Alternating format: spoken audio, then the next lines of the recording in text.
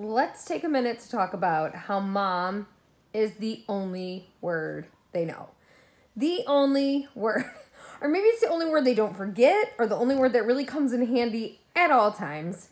I remember when we were young and my mom would say, Don't say the word mom anymore. So we were smart asses and we'd be like, Mary! That's her name. Why?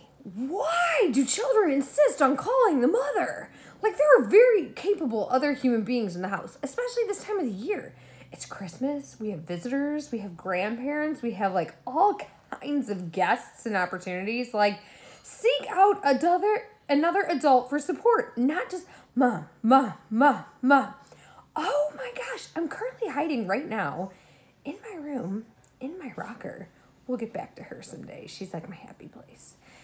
And it's only because I'm tired of hearing the word mom and I can't escape it. Now, don't get me wrong. Well aware that someday I'm going to look back and wish, just wish I had the sound of mom raining through the house, somebody needing my help, somebody loving me, wanting me, whatever. I get it. I know it's going to come and I'm going to loathe the day that I hated hearing the word mom.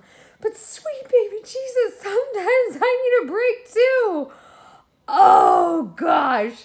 So, if you're a mom, you can totally relate to the fact that that's their favorite word. And it's not ever, ever, ever the first word. It's just the favorite. So, in conclusion, I at least can take away that I am their favorite person in the whole world and the name that they love the most. Right?